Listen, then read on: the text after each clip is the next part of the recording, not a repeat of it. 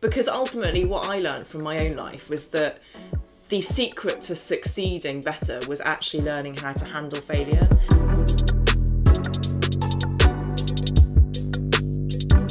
Hi guys, welcome back to my channel. Today is day five of the seven days in a row video situation that I'm doing to celebrate the release of Tom's Daily Goals. So if you haven't got yourself a copy yet, make sure you do. But goal number five is stress and resilience and way to combat it because in everyday life, we face challenges, we make mistakes, and we have to learn from them the best that we can. So I am joined today by best-selling author and creator of How to Fail podcast, Elizabeth Day. Hello! How exciting is this? It's so exciting. I'm very excited to have you in my Oh, flat. no, uh, thank you for having us. It's so great. And I mean, it's a little bit muggy in here today. So, you know, our cameraman said that we look a little bit shiny, but we're fine with it. You know, we're going to keep rolling with it. It means we have no wrinkles. Because we sweat loads. Exactly. I mean, it's going to be, it's good for our skin. isn't it? Exactly. It's good for our skin. But yeah, I was going to talk to you about your mainly your podcast, How to Fail. Kind of seems like an odd way to think about succeeding. Yeah. Talking about failing first. Yeah, totally. Well, I, I came up with the title beca- precisely because of that, because I hmm. thought it would attract people who would then think, oh, that's a bit counterintuitive. Because ultimately, what I learned from my own life was that the secret to succeeding better was actually learning how to handle failure, how to handle those moments when things didn't go right or didn't go according to plan or when you made a mistake or did something that you regretted. And it's actually how you come out of that mm. and the lessons that you take from it that teach you, I think, how to succeed. So so that was the idea behind it. And I think also, do you find that people are often naturally resilient as well as things that can be learned? Because I know there's lots of people in my family that if something bad happens to them, they automatically see the positive in it and they can figure out how to come back from that. Whereas, how about if could you could you learn those techniques to come back and be like, you know what, I'm absolutely awful and this is the worst thing in the world, but you know what, I want to learn how to be more resilient. Definitely. I definitely think you can learn it. And I say that as someone who is a natural warrior. Okay, good. You know, and I'm naturally anxious, and and I think I naturally. My life philosophy up to this point has always been prepare for the worst. Yeah, imagine the exactly, worst thing's going to happen. Yeah. and um, and I think I've learnt a lot about emotional resilience just through kind of personal crises that Yeah, yeah, I've yeah. been through, and and various people that I've spoken to on the podcast have said that you can acquire the skills. Hmm. So one of my favourite interviewees so far has been Gina Miller, who's a political activist, and she has had a lot of stuff happen in her life. She survived an abusive marriage. Um, she dropped out of law school. She has been the target of racist and sexist abuse, and she has always said.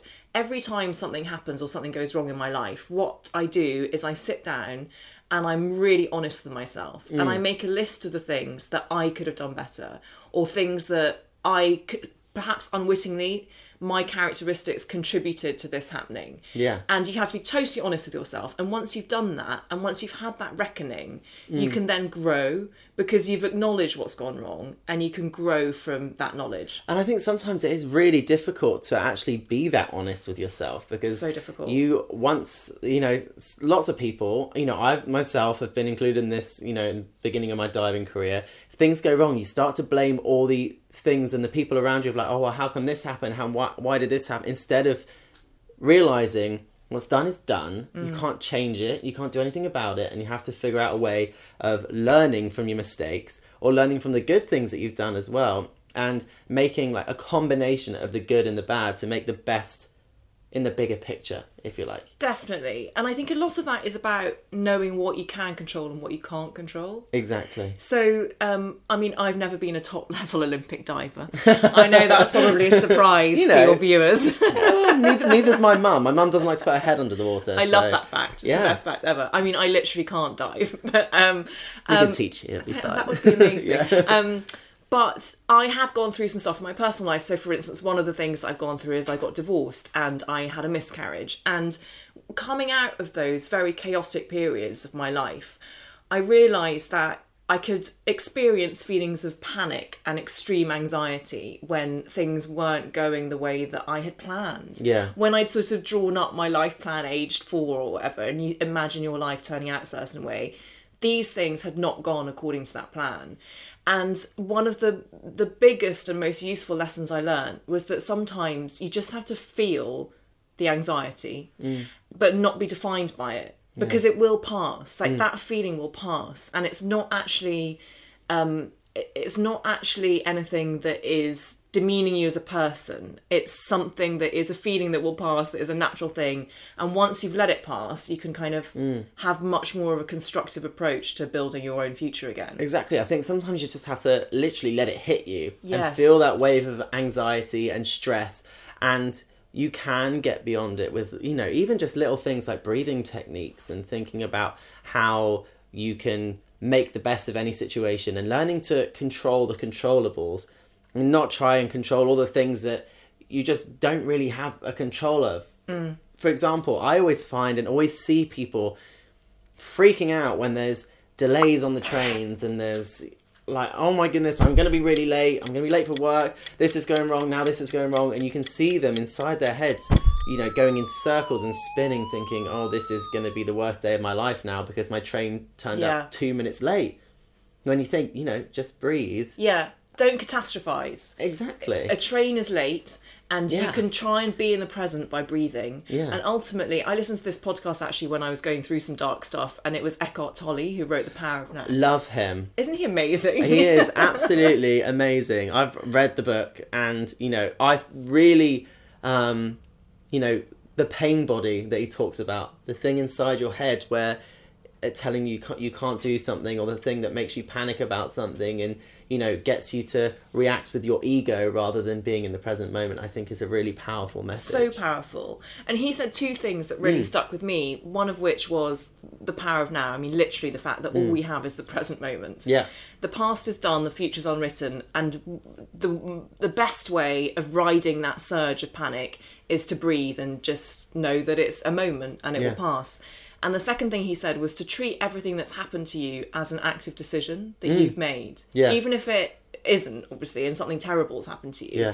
and you're dealing with the fallout of that, if you try and switch your psychology so that you think, well, this has been sent to me for a reason, Yeah, and I'm. Going to learn from this, and mm. I'll be a better person because of it, and and you end up succeeding better as a result, both as a person and in your goals. Yeah, and I think also nowadays, especially with social media and technology and the internet, all that kind of stuff, people are often comparing themselves to other people. I'm guilty of it. I sometimes go on social media and think, oh my goodness, they're doing such great things, they're doing such great, I need to be doing that, why can't I do this?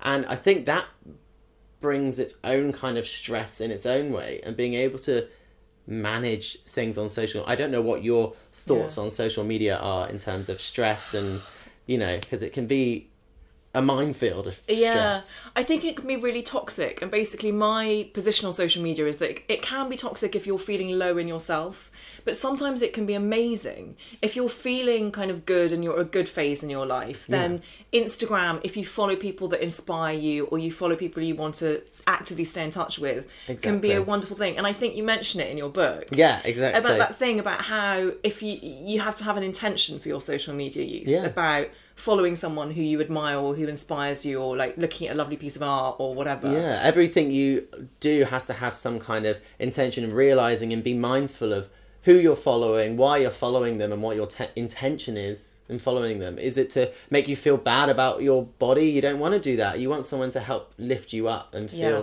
motivated. But of course you know tom daley's youtube channel is not toxic oh my goodness a no, non-toxic environment. Exactly, exactly. Yeah. Talk about all the good stuff. but thank you very much for talking to me today. thank you for talking to me it's you know, been it's lovely. been very exciting, and hopefully we'll, I'll come on your podcast. Soon. yes please Yes. See, I said it on tape now, so it's gonna happen. I know I'm going to use this in the court of law exactly.